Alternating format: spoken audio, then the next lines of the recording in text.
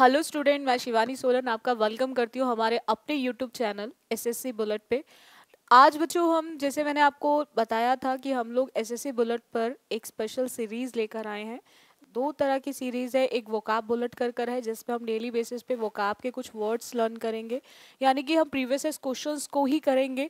Previous question में हम कुछ वर्ड्स हैं जो लर्न करेंगे, किस तरह से आप एग्ज़ाम में क्वेश्चन कर सकते हैं। उसी तरह से हम एक ग्रामर की भी सीरीज़ को लेकर आए हैं। डेली बेसिस पे हम टॉपिक वाइज प्रीवियस क्वेश्चन करेंगे।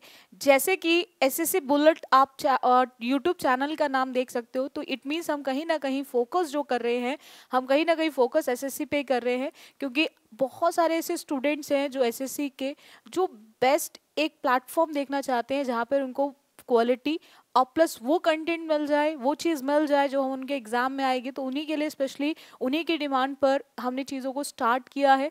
वो काब बुलेट के नाम से वो काब की सीरीज़ स्टार्ट करी है और ग्रामर के अंदर हमने टॉपिक वाइज स्टार्ट करा है आपके प्रीवियस क्वेश्चंस को।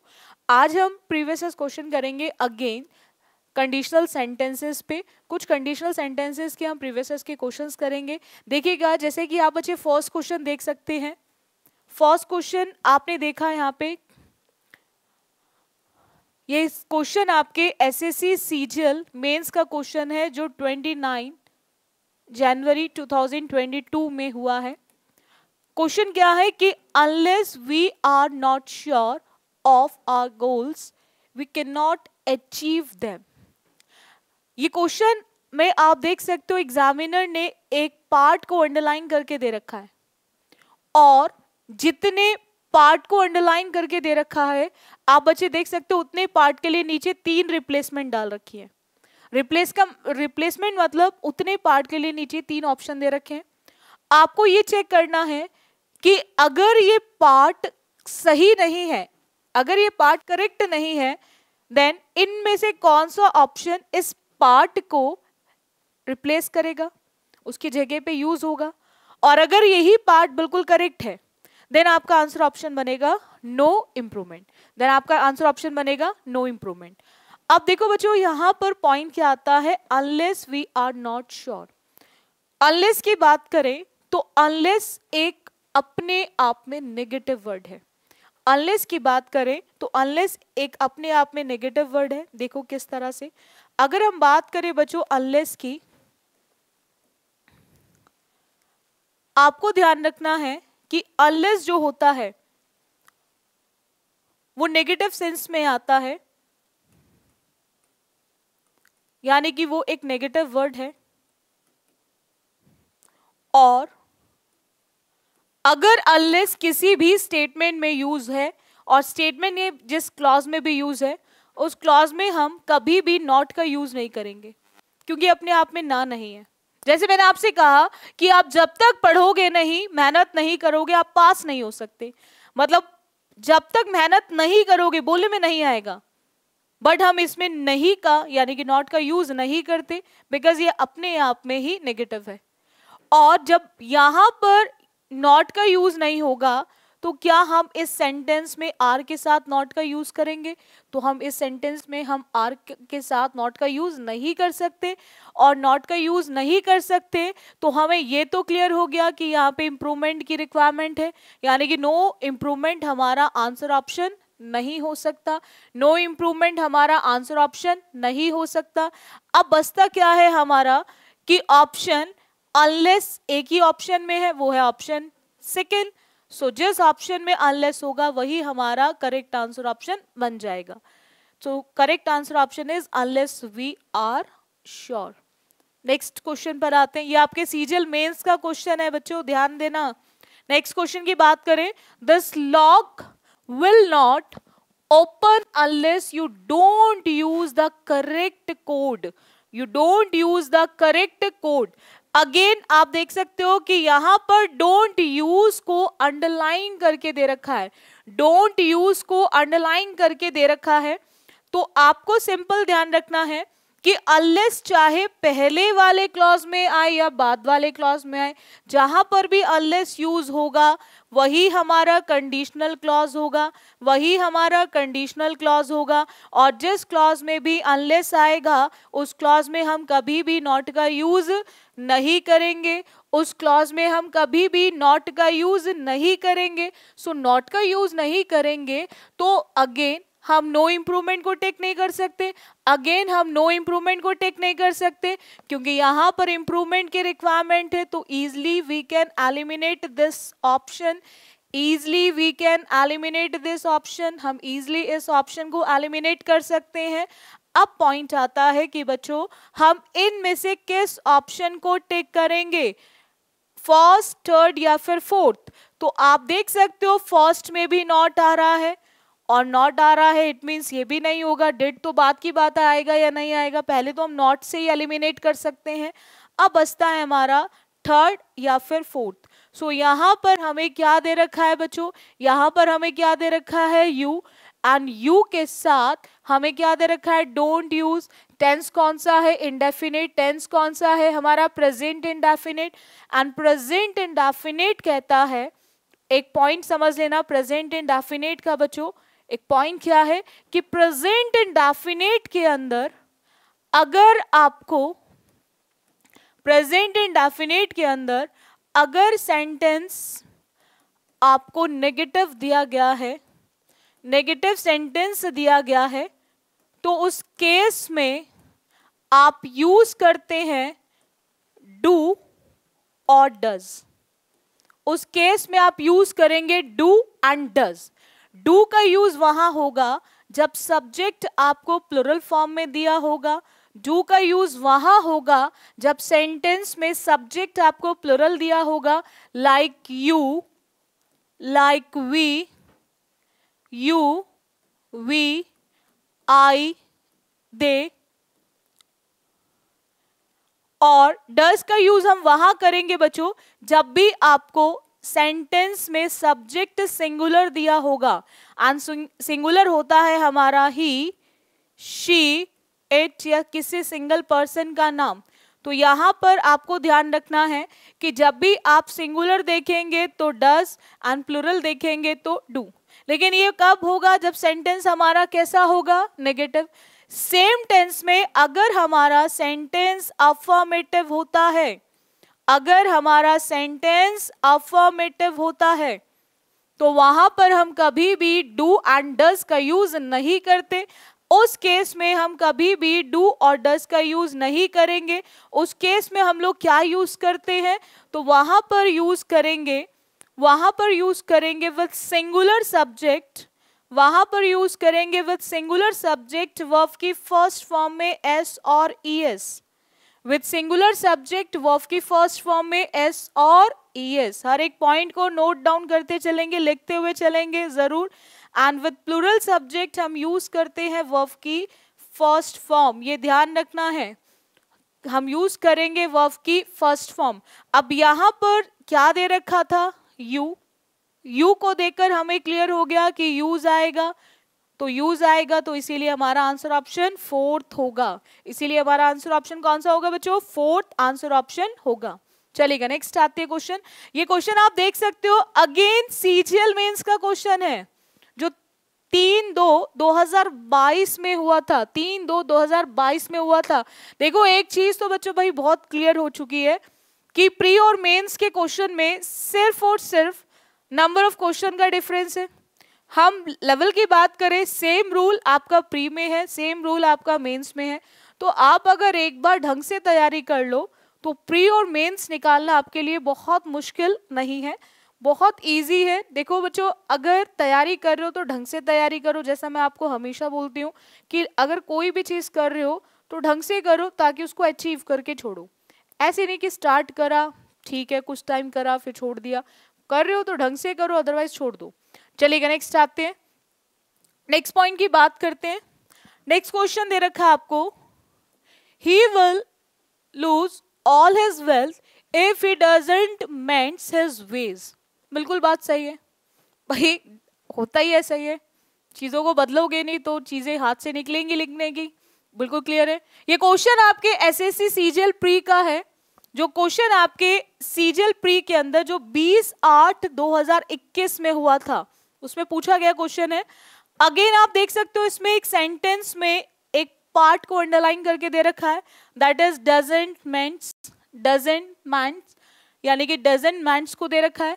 और डजन मैंट्स की बात करें तो आपको ये चेक करना है कि ये डजन मैंट्स जो दे रखा है, ये करेक्ट है या फिर नहीं है। अब देखो मैंने अभी आपको एक पॉइंट समझाया था, इससे पहले वाले क्वेश्चन में, जो मेंस का क्वेश्चन था सीजीएल बाईस का। अब ये क्वेश्चन है प्री में बट पॉइंट दोनों में सेम है। वो पॉइंट क्या सेम है? वहाँ पे भी मैं आपको समझा कर आई कि प्रेजेंट इन डेफिनेट के अंदर डू और डज आता है। ठीक है?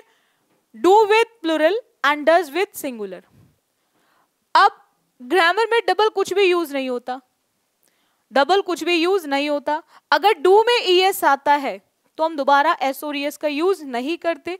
तो आपको ध्यान रखना है कि जब भी आपको डू एंड डज मिले, जब भी आपको डू और डज मिलते हैं ये बहुत एरर आती है। सिर्फ़ कंडीशनल में नहीं टेंस में भी बहुत एरर आती है कि डू और डज के साथ एस और एस दे देता है डिड के साथ सेकंड फॉर्म दे देता है हैड के साथ फ़र्स्ट फॉर्म दे देता है सेकंड फॉर्म दे देता है। तो इस तरह की नेचर ऑफ़ एरर बहुत बार अब एसएससी में आने लगी है। तो आपको ध्यान रखना है कि अगर आपको डू एंड डज मिलता है अगर आपको बच्चों डू एंड डज मिलता है तो आप बच्चे ध्यान रखेंगे, वहाँ पर हम यूज़ करते हैं वर्ब की first form with do and does we use only first form of the verb हम डू एंड डज के साथ सिर्फ़ वर्ब की कौन सी फॉर्म यूज़ करते हैं? फ़र्स्ट फॉर्म सेम पॉइंट पर ये क्वेश्चन आपके सीजल प्री में आया हुआ है। यहाँ पे डजेंट के साथ आपको मेन में एस दे रखा है। डजन के साथ आपको एस दे रखा है और हम जानते हैं कि डज के साथ कभी भी एस और ई एस का यूज़ नहीं होता। सो यहाँ पर ही को देकर ये तो डिसाइड हो सकता है। ही को देकर डू नहीं आएगा और अगेन एस लग रहा है, ये भी नहीं होगा। डू नॉट मेंट क्यों नहीं हो सकता? नो no इम्प्रूवमेंट तो होगा ही नहीं। क्योंकि एस आ रहा है तो इम्प्रूवमेंट की तो रिक्वायरमेंट है। अगेन डू के साथ एस दे रखा है, ये भी नहीं हो सकता। इट मीन्स हमें डिसाइड करना है बिटवीन सेकेंड एंड थर्ड कि which one will be the correct answer option कि सेकेंड और थर्ड में से कौन सा सही आंसर ऑप्शन होगा। तो क्योंकि दोनों में एस नहीं है तो यहाँ पे हमें क्या देखना पड़ेगा? ही को, जो मैंने अभी आपको समझाया था, जो मैंने समझाया था आपको कि क्या होता है डज आता है सिंगुलर के साथ और डू आता है प्लूरल के साथ। तो वही पॉइंट यहाँ पर है। सब्जेक्ट ही कैसा सब्जेक्ट है बच्चों? कैसा सब्जेक्ट है? सिंगुलर एंड सिंगुलर क्या लेकर आएगा? डस को। और डस के साथ हम लोग लिखेंगे वर्फ की फ़र्स्ट फॉर्म सो इसीलिए इस पार्ट को जो रिप्लेस करेगा वो कौन सा पार्ट करेगा? सेकेंड पार्ट करेगा। It mean second is the correct answer option चलेगा। नेक्स्ट क्वेश्चन पर आते हैं बच्चों। If I was you I would not lose temper in this situation बहुत सारे लोग एग्रेसिव होते हैं, बहुत जल्दी गुस्सा हो जाते हैं। हालाँकि कभी भी जल्दी से एग्रेसिव नहीं होना चाहिए। सिचुएशन को समझना चाहिए पर्सन को समझना चाहिए। हो सकता है कभी कभी चीज़ें हम देखते कुछ और है, होती कुछ और है। तो मेरा यही एक मानना है कि आप चीज़ों को पहले समझो, चीज़ों के बारे में जानो और गुस्सा होना एग्रेसिव होना किसी भी चीज़ का सॉल्यूशन नहीं है। सिर्फ़ और सिर्फ़ आप अपने आप को ही दुख दे रहे हो। सो so, कोशिश करो हर सिचुएशन में अपने आप को काम रखने की यानी कि कूल रखने की। कूल रहो एज अ कुकुम्बर कूल रहो एज अ कुकुम्बर समझते हो ना? कुकुम्बर की तरह हमेशा शांत रहो। और अगर कोई भी काम आप बच्चे शांत दिमाग से करते हैं तो आप देखेंगे कि रिज़ल्ट हमेशा आपको आपके फेवर में मिलेगा। हमेशा आपको वो मिलेगा जो आप एक्सपेक्ट करते और जब आप गुस्से में कोई चीज़ करते हैं तो हमेशा चीज़ों को खोते हैं। तो कोशिश करिएगा, जब भी आप कोई भी सिचुएशन में हो तो अपने टेम्पर को टेम्पर सम, समझते हो ना? अपने आपे को खोना नहीं है। वही चीज़ यहाँ पर दे रखी है इफ़ आई वॉज़ यू अगर मैं तुम्हारी जगह होता यानी कि मैं तुम होता तो उस केस में मैं कभी भी अपने टेम्पर यानी कि मैं अपने आप को नहीं खोता आपे को नहीं खोता। अब पॉइंट क्या आता है कि इफ़ आई वॉज़ यू अब इसका बहुत ही एक छोटा सा और बहुत ही इंपॉर्टेंट कॉन्सेप्ट है जो मैं आपको भी समझाऊँगी। बहुत ही इजी लैंग्वेज में आप बच्चे उसको समझ लेना। और उस चीज़ को आप कभी नहीं भूलेंगे। देखो, ये जो नेचर है ना नेचर ऑफ़ एरर है ये वाली इफ़ आई वॉज़ यू वाली, ये बहुत ही फेवरेट है यूपीएससी की भी। एनडीए सीडीएस की बात करें, उसमें फिक्स है। एनडीए में तो क्वेश्चन फिक्स है ही कि आना ही आना है। और ये नेचर ऑफ़ एरर आपके एसएससी के भी फेवरेट है। एसएससी भी अगर कंडीशनल पे क्वेश्चन डालता है तो इससे ज़रूर डालता है। ये कंडीशन टू के अंदर आती है पास्ट के अंदर आती है और हमेशा एसएससी की एसएससी इससे रिलेटेड क्वेश्चन ज़रूर कंडीशनल सेंटेंसेस में डालता ही है। तो आप आज इस कॉन्सेप्ट को बहुत ध्यान से समझ लेंगे। देखो बच्चों, दो चीज़ें होती हैं। आप बच्चों ने पढ़ा होगा is are am was were इनको आपने पढ़ा होगा as a helping verb as a helping verb ऐसा ही आप बच्चे पढ़कर आए होंगे एज अ हेल्पिंग वर्व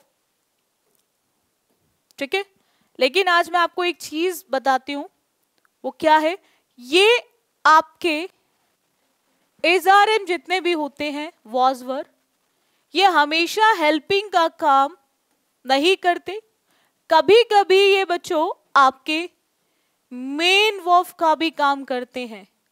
कभी कभी ये आपके मेन वर्फ का भी काम करते हैं। देखो बच्चों वर्फ दो फॉर्म में आती है।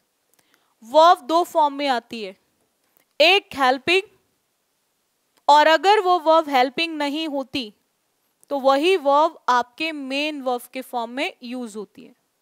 वर्व दो फॉर्म में आती है, एक तो हेल्पिंग और अगर वो हेल्पिंग नहीं है तो दूसरी कौन सी फॉर्म होगी? मेन वर्ब यानी कि हेल्पिंग और मेन अब देखो, यहाँ पर आपको ध्यान रखना है इज़ आर एम कब हेल्पिंग है और कब हेल्पिंग नहीं है? इस चीज़ को समझेंगे आप बच्चे। मैंने आपसे बोला, बहुत सिंपल सा एग्ज़ाम्पल लेंगे। I am teaching I am teaching और एक मैंने आपसे बोला I am a teacher. I am a teacher. I am teaching, और एक मैंने आपको बोला, I am a teacher. इस केस में आप दो चीज़ें देख सकते हो वो क्या है यहाँ पर भी एम और यहाँ पर भी एम बट एक एम हेल्पिंग होगा बट एक एम हेल्पिंग नहीं होगा। अब आपके माइंड में एक डाउट ज़रूर आएगा कि मैम आप एक को हेल्पिंग बोल रहे हैं और एक को हेल्पिंग नहीं बोल रहे, ऐसा क्यों? तो आपको एक चीज़ समझ लेनी है। बहुत सारे ऐसे स्टूडेंट भी होंगे जो मुझे देख रहे होंगे, जो इस पॉइंट को समझ रहे होंगे, जिन्होंने इंग्लिश हो सकता है, बहुत वीक है।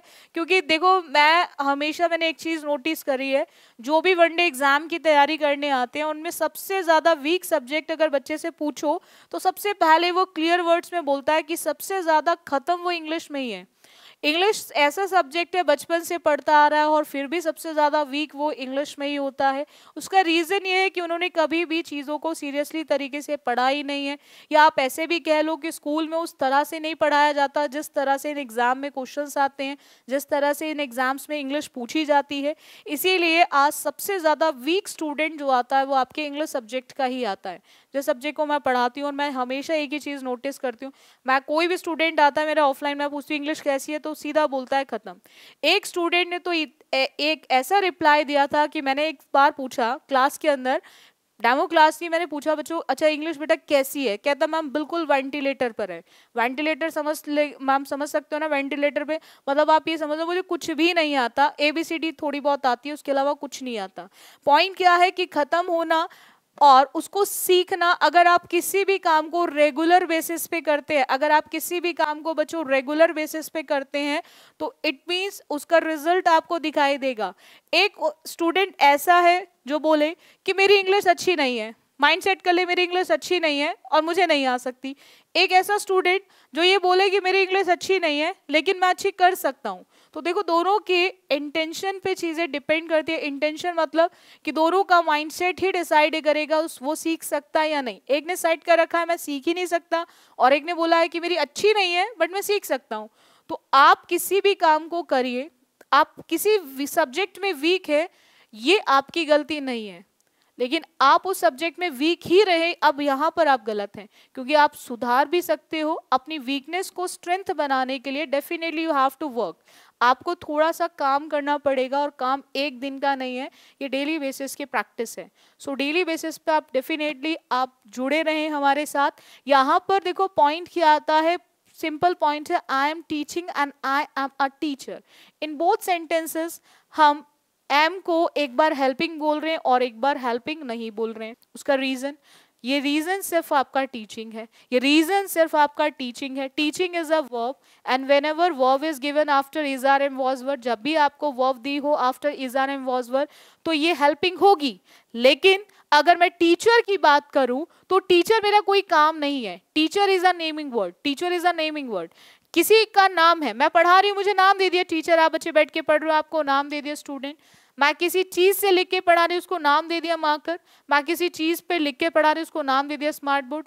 तो ये सब क्या हमारे नेमिंग वर्ड्स ही तो हैं? और जितने भी नेमिंग वर्ड्स होते हैं, ये सब हमारे नाउन होते हैं। ये सब हमारे क्या होते हैं? नाउन। ऐसे टीचर की बात की जाए बच्चों तो teacher is a noun. Teacher is a noun. और नाउन को रिप्लेस कौन करता है बच्चों? प्रोनाउन। नाउन को रिप्लेस कौन करता है बच्चों? प्रोनाउन एक ऐसा वर्ड जो नाउन और प्रोनाउन को क्वालिफाई करे, उसको हम क्या बोलते हैं बच्चों? एडजेक्टिव क्या बोलते हैं उसको? Adjective a word which is use to qualify a noun और प्रोनाउन एक ऐसा वर्ड जो नाउन और प्रोनाउन को क्वालिफाई करने के लिए यूज़ किया जाता है, उसको एडजेक्टिव बोलते हैं।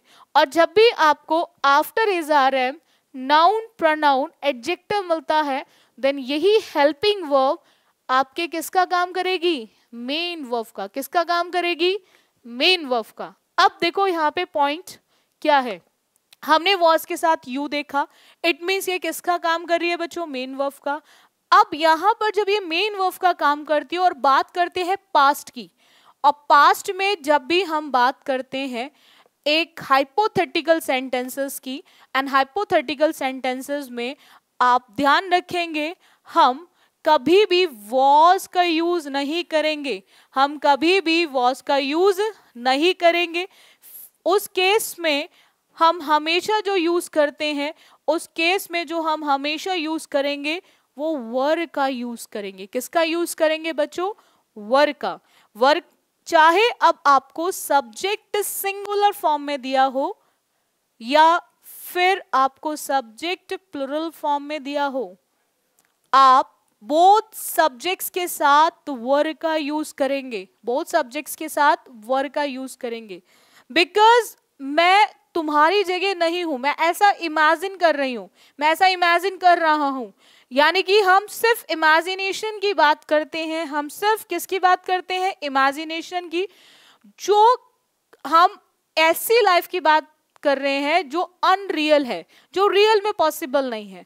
और जो रियल में पॉसिबल नहीं है तो इट मीन्स हम एक इमेजिनेशन की बात करें कल्पना की बात करें जिनको काल्पनिक वाक्य भी कहा जाता है हाइपोथेटिकल सेंटेंसेस भी कहा जाता है, और वहाँ पर आप हमेशा वर यूज़ करेंगे।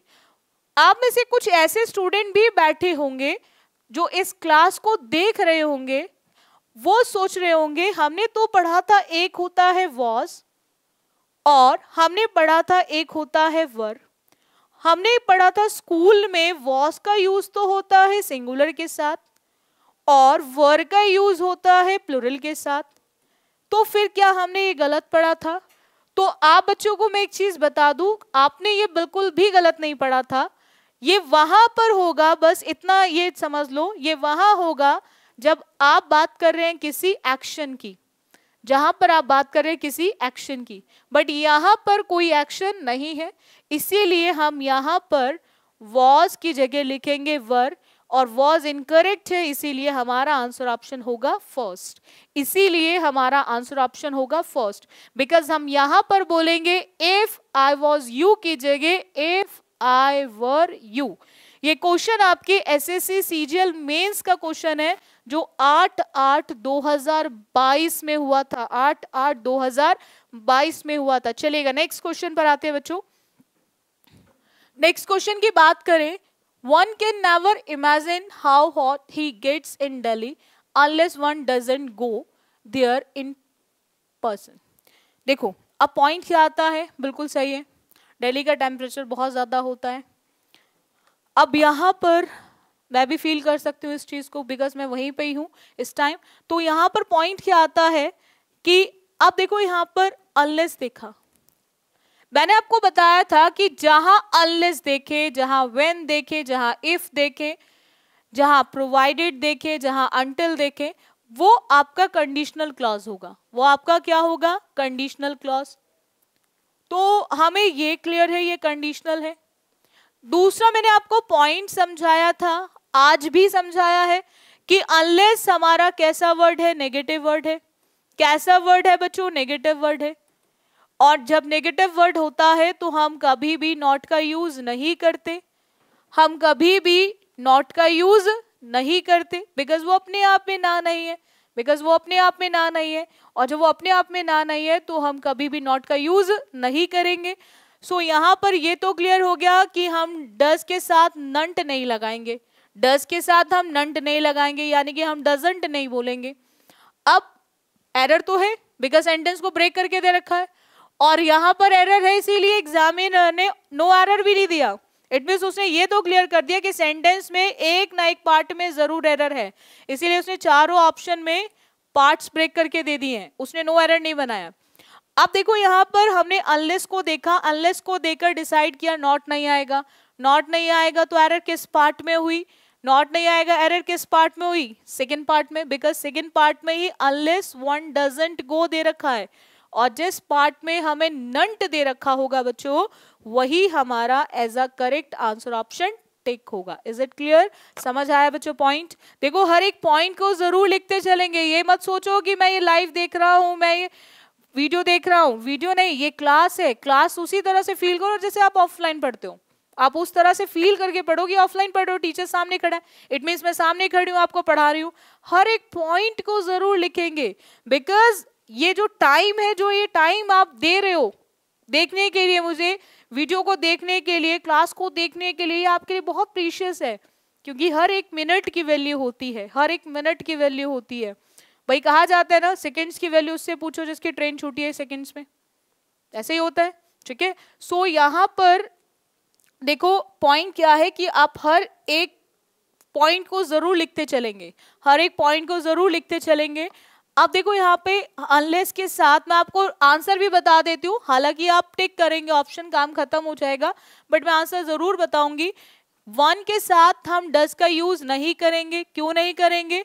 क्योंकि जब नॉट नहीं आएगा तो डस भी नहीं आएगा। इट मीन्स हम बोलेंगे वन गोज क्या बोलेंगे? वन गोज क्योंकि one is a singular subject और सिंगुलर के साथ हम उसको अफॉर्मेटिव बनाएँगे। सिंगुलर के साथ अगर हम उसे अफॉर्मेटिव बनाएँगे उस क्लॉज को तो वहाँ पर हमें लगाना पड़ेगा एस और ई एस सो हम बोलेंगे वन गोज चलेगा नेक्स्ट क्वेश्चन पर आते हैं बच्चों। Unless you carry a covid-19 negative report, you can travel by air सबसे ज़्यादा सताए हुए लोग इसी पॉइंट से। ठीक है? ना जाने कितने लोगों को ये कोविड ले गया। चलेगा। कोई नहीं, देखो टाइम का कुछ नहीं पता होता कब कैसा टाइम आ जाए और ये आपने कोविड में देखा कब कैसा टाइम आया था जब इंसान इंसान से डर रहा था। तो देखो, समय का कुछ नहीं पता कब बदल जाए। तो चीज़ों में क्या है कि हमेशा अच्छी चीज़ें करो। और एक चीज़ और है कि हमेशा कोशिश करो नॉलेज लेने की। देखो नॉलेज अपनी है, बाकी कुछ भी अपना नहीं है। सिर्फ़ एक नॉलेज एक ऐसी चीज़ है जो हमारी अपनी है, बाकी कुछ भी अपना नहीं है। ठीक है, इस दुनिया में।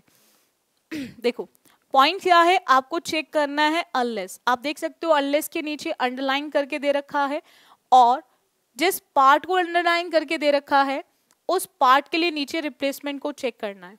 उस पार्ट के लिए नीचे रिप्लेसमेंट को चेक करना है, और ये क्वेश्चन आपके S S C CGL mains का क्वेश्चन है जो उनतीस एक 2022 में हुआ था।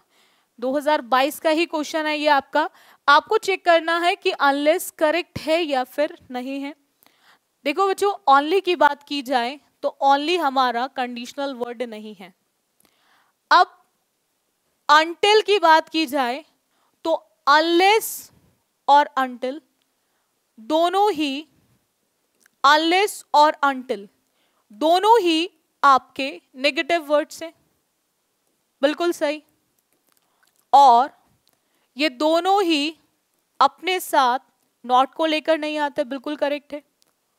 नॉट को लेकर नहीं आते, बिल्कुल करेक्ट है। लेकिन हम अंटिल का यूज़ वहाँ करते हैं जब हम टाइम की बात करेंगे। अंटिल का यूज़ हम वहाँ करते हैं जब हम टाइम की बात करेंगे। आपने बोला, मैं तब तक वेट करूँगा जब तक टीचर नहीं आता, यानी कि टीचर क्लास को स्टार्ट नहीं करता या टीचर लाइव नहीं आता. यानी कि आप वेट किस चीज़ को देखकर कर रहे हो? भाई लाइव आने का एक टाइम फिक्स है। क्लास का एक टाइम फिक्स है। तो आप टाइम देखा और आपने वेट करना शुरू कर दिया। और जब भी वेट की बात करते हैं तो वेट किसको देखकर होता है बच्चों? टाइम को देखकर किसको देखकर होता है? टाइम को देखकर और टाइम के लिए हम लोग लगाते हैं अंटिल लेकिन अनलेस की बात की जाए अनलेस टाइम नहीं अनलेस आता है फॉर कंडीशन अनलेस आता है फॉर कंडीशन बट यहाँ पर हम एक कंडीशन की बात नहीं कर रहे हैं. यहाँ पर हम एक कंडीशन की बात नहीं कर रहे ये वही वाला केस हो गया. जैसे दो फ्रेंड्स थे, आपस में खेल रहे थे. पता चल गया घर वालों को दोनों खेल रहे हैं. तो एक ने दूसरे से बोला अच्छा मेरा को एक फेवर करोगे?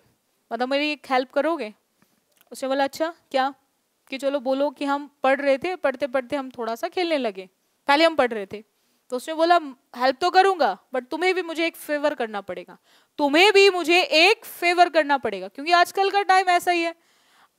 बिना मतलब के आज के टाइम में कोई किसी की हेल्प नहीं करता। यानी कि हमेशा बहुत रेयर केस में कुछ एक्सेप्शंस होते हैं, हर जगह एक्सेप्शन होते हैं कुछ एक्सेप्शनल केस होते हैं, जिनमें पर्सन विदाउट हिडन रीजन आपकी हेल्प कर दे। बट ना आजकल का जो टाइम है, वहाँ पर बिना मतलब के बच्चों कोई किसी की हेल्प नहीं करता। तो यानी कि उसने आपके आगे शर्त रख दी। हेल्प वो करेगा, लेकिन उसके लिए शर्त है कि आपको उसे फेवर करना है। सेम शर्त यहाँ पर है। आप ट्रेवल कर सकते हैं बाय एयर लेकिन उसके लिए एक शर्त है कि आपको कौन सी रिपोर्ट लेके जानी है? कोविड 19 की नेगेटिव रिपोर्ट यानी कि वहाँ पर आपके लिए केस हो गया ऑन कंडीशन दैट का। केस हो गया बच्चों आपके लिए ऑन कंडीशन दैट का। और ऑन कंडीशन दैट को बोलते हैं हमारा प्रोवाइडेड क्या बोलते हैं बच्चों? प्रोवाइडेड जिसको आप बोलते हो हिंदी में बशर्ते। कि मैं तुम्हारी मदद करूँगा बट मेरी भी एक शर्त है, यानी कि बशर्ते आपको मेरे को फेवर करना होगा। तो यानी कि हम बात कर रहे हैं प्रोवाइडेड की। सो so, अनलेस जो रिप्लेस होगा वो किसके साथ होगा बच्चों? प्रोवाइडेड के साथ। किसके साथ होगा बच्चों? प्रोवाइडेड के साथ। सो so, प्रोवाइडेड को हम अनलेस की जगह यहाँ पे यूज़ करेंगे। इतना समझ आया बच्चों?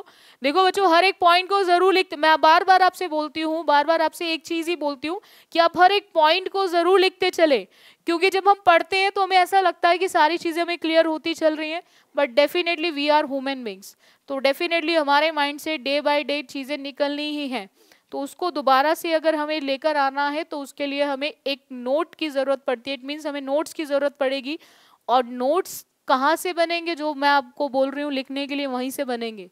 और यही नोट्स आपके रिवीजन के लिए काम आएँगे। सो आई थिंक आपको सारी चीज़ें क्लियर हो गई होंगी क्योंकि आज हम इतना ही रखेंगे बच्चों। नेक्स्ट क्लास में फिर हम कुछ क्वेश्चंस करेंगे प्रीवियस ईयर्स के कंडीशनल्स पे ही। सो so, आज के और स्टूडेंट्स आप एक चीज़ ध्यान रखेंगे कि हमारे यूट्यूब चैनल को सब्सक्राइब ज़रूर करें। और मैक्सिमम से मैक्सिमम स्टूडेंट्स कोशिश करें शेयर करने की, ताकि उन बच्चों तक चीज़ें पहुँच पाए जो बिल्कुल सीरियस क्राउड है उस तक पहुँच पाए। वो डेली बेसिस पे हमारी क्लासेस ले सकता है ग्रामर पार्ट के लिए भी और आपके वोकाब पार्ट के लिए। तो वोकाब पार्ट को भी ज़रूर देखिए, हमारे वोकाब बुलेट के नाम से है और डेली बेसिस पे मैथ्स एंड इंग्लिश को लेना ना भूलें। So thank you students